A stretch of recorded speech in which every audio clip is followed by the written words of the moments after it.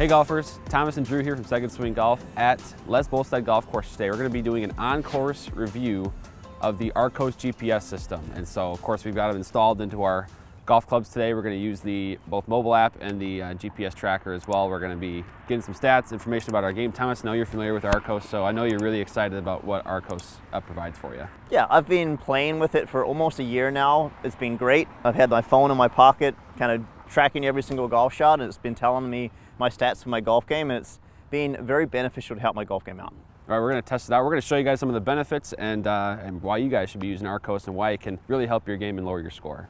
All right, well, let's play nine holes at Les Bolstad.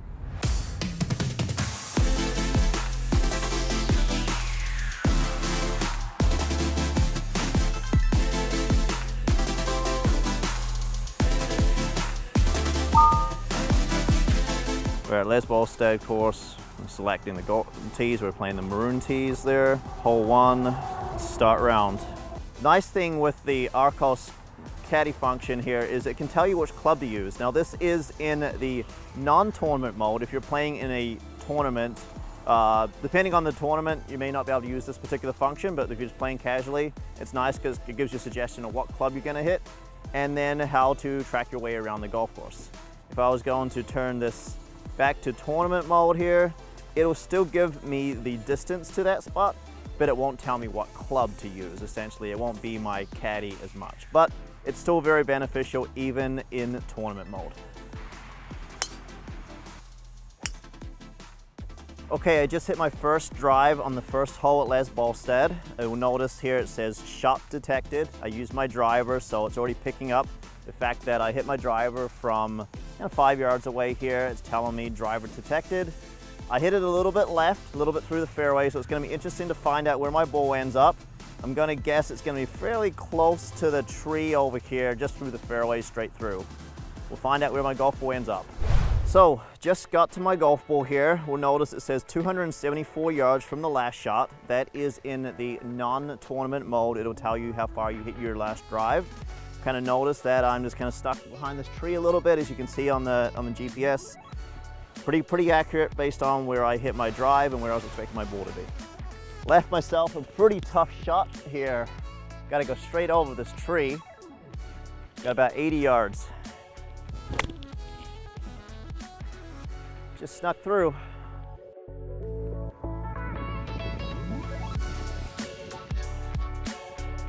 Nice shot.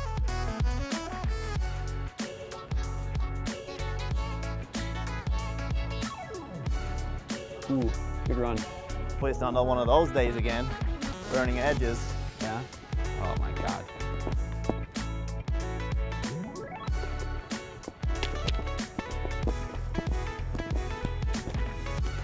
When Arccos told me to hit seven iron, so I'm gonna hit seven iron.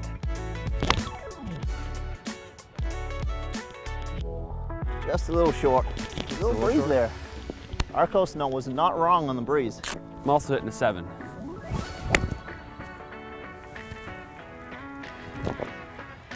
Is that far enough? good swing. Is that far enough? Oh, yep. right on it.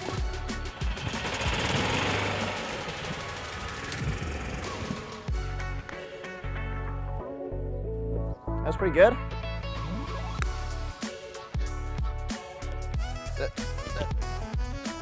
Greens are fast. Good putt. Thank you. Very nice. Okay. So hole three here at Les Bolstad Golf Course, there is some elevation from this tee shot. So you'll notice if we click here, it says minus 38 feet. It also looks like we've got a little wind into us. We can click here and we can notice how the slope will affect the uphill or downhill train by 13 yards. So the drive should go about 13 yards further than normal. Uh-oh. That was not the way I wanted to go. Well, there's room over there. Boom. Yeah, that's perfect, isn't it? That's money right there. Yeah. Well, I'm going to be playing about 100 yards longer of a shot than you are. the nice thing with Arccos too is if we hit the ball right and we're looking for a golf ball, for example, we're looking for Drew's, uh, Drew's drive here, it says we're about 265 yards from the tee. So depending on where you are, it'll tell you how far away you are from the tee. So if you think you hit your driver around about 260, you'd think the golf will be kind of around about this location. Did not see it.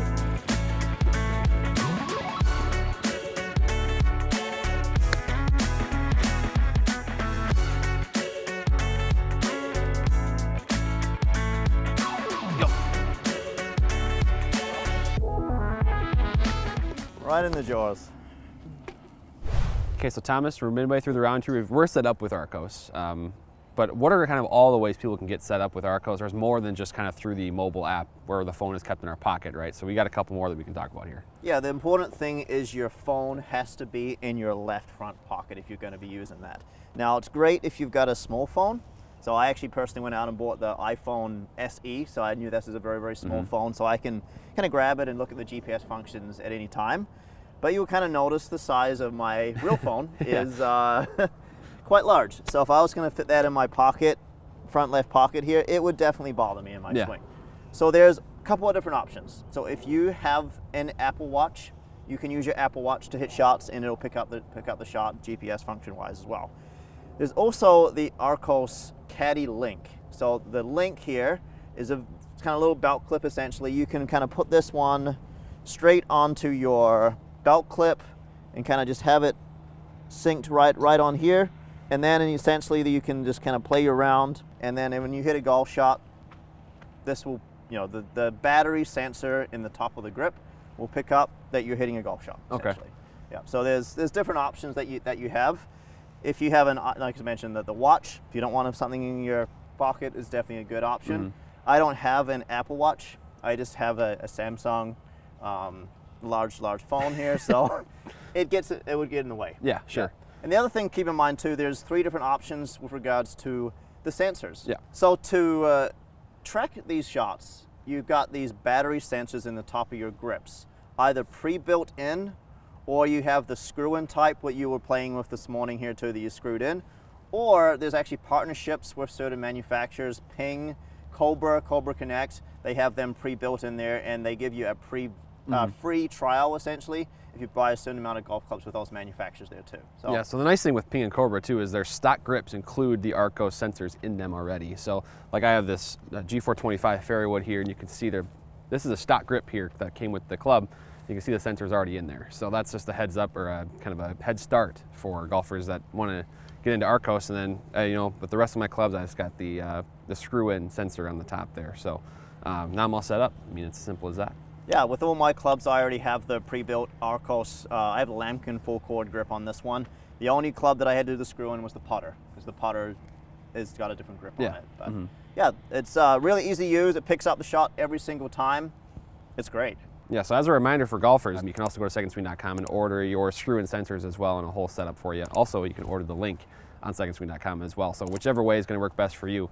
Um, but either way, again, as you'll see in this video, we do recommend, uh, with all the information that Arccos is going to give you, to get this set up for your game.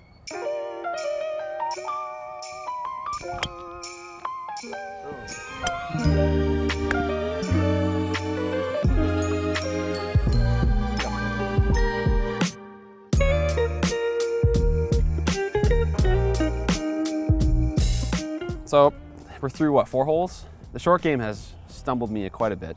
Uh, I'm three over with three bogeys and a par at this point. But uh, a couple of short putts here and there have cost me my strokes. But I think hitting the ball okay, but it's nice to have this information though. Yeah, and we'll see after nine holes when we end the round to see all your stats um, based on what, what was good, what needs to be worked Yeah. on. And the nice thing with the Arccos app, it gives you like your top three things to work on and top three things that are doing, you're doing really well. So it's kind of nice that it kind of gives Okay. you a recommendation there. Uh, I'm one under through four. Just made a nice putt there. I made a couple of nice putts actually, so it's kind of nice. Nice save on hole two for par after a, a bad chip. But let's keep it rolling here. We've got five more holes to play. All right. So I'm being told the GPS distance to the middle of the green is 165-ish. Um, and it's giving me another 10 yards to play based on the wind and maybe the slope a little bit as well. Um, we got it wind into us here at about seven miles an hour. So I got a seven iron here. So And I that's the right actually shot the yardage with my rangefinder. It actually said actual distance is 158, so it's a front flag. Okay. Uh, Arccos will tell us to the to the middle of the green how far it is. Uh, Uh, Right. But with the wind, we know it's going to play a little bit further than that. So it's probably Okay. going to be that plus. Uh, we're talking probably about about and plus 10 yards essentially. Okay, Saying with the wind plus nine, with the slope minus one, and with the temperature plus two. So it's telling us to play the shot 11 yards further. So I'm going to play it basically 170. Okay. Is that, is that going for flag or is that going for middle of the green? That's going for flag. Okay. You know what? I, I thought about going for this middle of the green. I kind of want to go for flag now.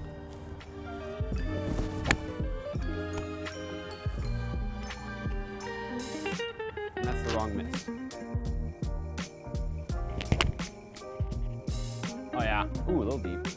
A little Shot deep. though. It was right on top of the flag. Straight through the wind.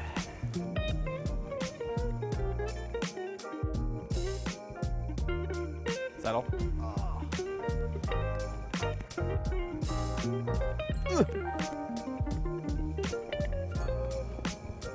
Good putt.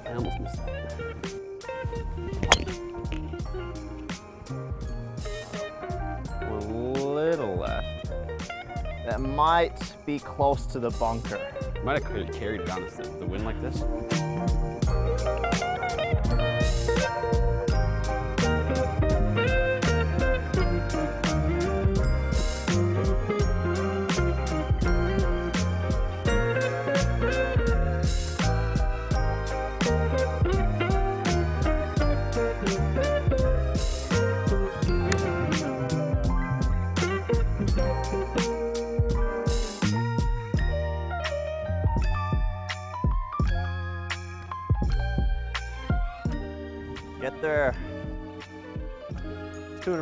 Right in the heart.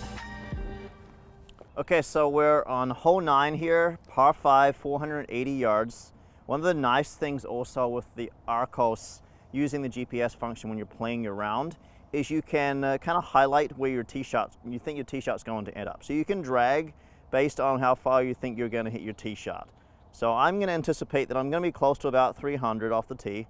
So if I was, say I hit it 300 yards off the tee here, I would leave myself 175 yards into the green from that particular position.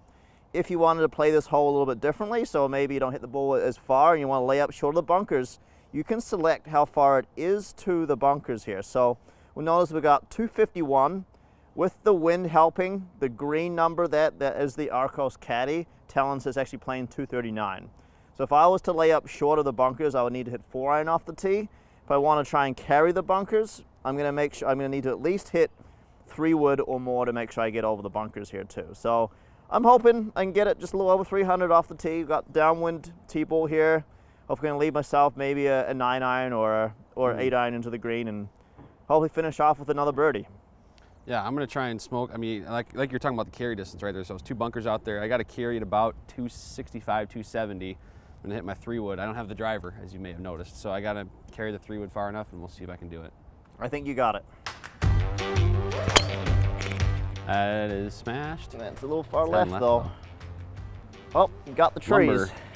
That's a waste of a short par five. Hey, maybe. Maybe. It might still have a shot. I think he probably will. No. Would help if wasn't one of us hit it straight, but well, not a very good tee shot. Hit the top of this tree here, which is going to affect my uh, Arccos driving stats because the drive is going to be a lot shorter on this hole. Got to hit a big hook around this tree.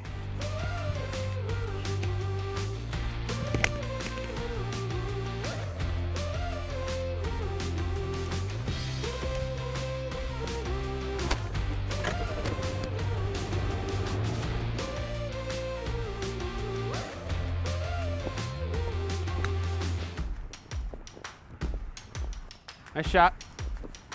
Thank you.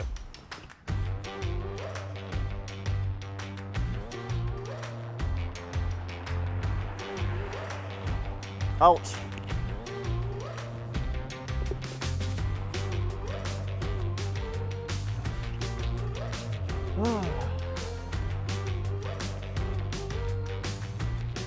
Playing too much break on a short putt. Okay, so I just clicked end round after nine holes. So we got nine hole stats here to talk about. I went back into the round to modify where the flag location was on the green and how far away my first putt was. It's pretty, pretty close, but it's not gonna be perfect. So you can actually click on where it says the putter, and then you can actually drag, you can actually drag the flag location on the green and how far away your first putt was on the green. And that way it's gonna help with your stats a little bit there too. So each of the nine holes, I like to go onto the, under the green and just kind of take a look I like to modify how far away I was, so I kind of modify, make a modification, and then we can take a look at my putting stats and be more realistic, essentially. Mm -hmm. So if you can remember how far you had to putt on each green, that is also very helpful. Yeah, so I, what's eye-opening for me, you know, I, I didn't play my best round, right? And so um, as a, in total, I lost 4.3 strokes just in nine holes there. Um, compared to, I, you know, it kind of compares you to other players of your handicap. Um, and so I can see here on my strokes gained, you can kind of see after you know nine holes, it's got your driving, your approach play, your short game, and your putting.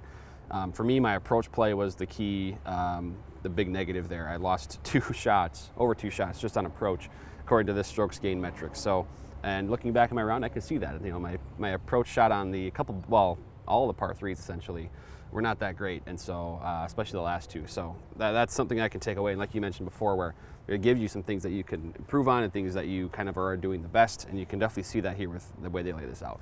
Yeah, and you can uh, find this information by clicking on your activity, and then under that round you can click on stats. So for me, I'm kind of loading mine. I compare this to a zero handicap. You can actually change whatever handicap you want to compare this mm -hmm. to. So if you want to change this to, Uh, say you're a, say you're a 10 handicap go golfer essentially, you can apply those selections and then your strokes gains will change yeah. based on what your handicap is. So I'm going to go back to a, a scratch. I'm, I'm, probably more like a plus four essentially. So let's go back to like a plus four and let's just see how I compared to a plus four handicap for those nine holes. So my strokes gain breakdown, I was plus 0.9 for those nine holes. I shot two under, 33 on the front nine. My biggest gain was through driving. So I picked up 0.6 strokes in shot gain on driving. And you can also click on the driving and select why that you, uh, why that you picked up those strokes gained essentially. From what I could see here, it's based on distance. So distance on the tee. My average distance was 287. My longest drive was 311. So that way I can kind of see how my distance was. I can also see my accuracy. So I hit, I only hit 33% of the fairways, missed left 50% of the time, and missed right 17% of the time. And you can also see hole by length. So you can see where I picked up my strokes gains mm -hmm. based on the hole by length there too. And you can do this under every different category. Um, the other thing I like about this here too is it gives you round highlights, so it gives you stats, fairways, greens, putts, up and downs, average approach distance to the green so you know what distance that you want to work on there too. And then I do like if you scroll down the round insight. So this is what I was talking about earlier where it gives you some three things to, that work for your game and three things that game, your game need to work on. So let's click on what, what hurt me the most. It was my putting game from 10 to 25 feet. Apparently I lost minus 1.2 shots gains. I burned a lot of edges yeah. and that just kind of seems like it's going to be in the story of that there too. Shots from the fairway, zero, negative 0.1. So basically I was playing to about a plus four handicap from the strokes from the fairway uh, short game, I was basically about the same there as well. So negative 0.1 on shot gain. So mm -hmm. putting for me still need to work on. Let's see what, what helped me the most. So my putting game from long range, 25 to 50 footer, I made that 30 footer on the yeah. on the fourth hole there, so that helped out as well. Um, driving game, driving distance here, plus 0.5, so my distance is helping me as well. And my par three tee shots, we played uh, we played three par threes on, on that nine. One came up just a little bit short of the green, and the other two I hit pretty close, and I hit some really good shots on hole five and hole eight mm. there, which is going to help with my uh, my scoring there too. And you see your scoring analysis. Unfortunately, I hurt my par five scoring stats by missing that short putt there on the yeah. last hole. That's going to kind of haunt me a little bit, so that was a little frustrating. Tried to play outside the hole, and there was no break, but. Uh, yeah, so it's really interesting. You can really analyze all the data you need to look at mm -hmm. driving, approach game, um, short game, putting. It's, it's really good stuff. Yeah, and it gives you personal best. And then what I like and what I'll continue to use here, I know you've been using it for a while, so you have this data all on there, but previous rounds you can kind of compare. Um, you know, maybe you can identify trends in the last five rounds, last 10 rounds, what you're doing well, what you're not doing well, uh, more than just one round. I only have one round down here because this is my first round with Arccos. Um, but that's just another tool that this can really you, uh, give you. And I think the most important part of this is the information. You, get information about your game um, that you wouldn't get elsewhere. So that's why I'm so intrigued by this and why I want to continue using it is just the information you get about your game. You're going to know what your strengths are, what your weaknesses are, and probably they're going to be different than what you may perceive, which is something I'm already noticing here just on nine holes. I mean, it's telling me my best trait was putting, and I mean maybe that's just a, a, you know a sign for how bad the other parts of my game were today. But interesting that that is what I would perceive as my weakness. So interesting. Yeah. I'll take that with me as I play more rounds. And when you do play more rounds, if you click on clubs, you can see your average distances for those particular clubs. Now I'm showing my stats here for my average distances. Mm -hmm. This is over since June of 2020, so I started applying. So this is over a whole bunch of rounds now, but you can see that my paired clubs, how far every club goes for me. So I know on the golf course when I'm not using the Arccos Smart Caddy, so when I have to have it in tournament mode, already know the distances, so I can yeah. write these down on a piece of paper. I know these numbers. Some people like to put their numbers on their shaft of their golf club. Some people like to have a little, a little notebook to know their distances. But it also kind of shows you your smart range, shows you the longest shot that you ever hit. So notice when I click here, 378 yards is my longest drive that I've hit in the last, uh, last like 10 months. This is pretty cool. Uh, green and regulation based on each club that you use. So if I look here, my 8 iron was performing pretty well. So I would want to click on I'd want to leave myself an 8 iron into the green because I know that I hit the green 80% of the time with my 8 iron. And then usage, so then you can see how often you have used that club. So as I mentioned, I've got quite a lot of data here. I've got paired clubs for a driver. I've hit my driver 421 times. That's, that has been registered with the Arccos there. And actually, if we look down here, putter has been 1,273 times. So you can see which club you use the most which club you don't use the most, and you can kind of know what you got to work on. So it's really good stuff. Uh, I love Arccos. I think it's great. I think just showing the in-course use here today is kind of a nice benefit that you've got. You've got that GPS system mm -hmm. to use. Yeah, it's really good, and uh, we'd also recommend. And of course, you can get talk to Second Swing and get set up with one yourself as well. Uh, but this is, I mean, this is a ton of information about your game that you really didn't know you needed. Uh, but it's a great way to improve. So. Um, I think, I mean, that's, we could, I mean, we're just getting started. We could talk all day about Arccos and what it can provide you, but basically the best way to really find out for yourself is to get set up through Second Swing with a unit for yourself and all of your clubs. Get the mobile app downloaded and set yourself up with a membership with Arccos. So, Thomas, thanks for joining today, playing some good golf and uh, showing everybody what it's about. Yeah, not a problem.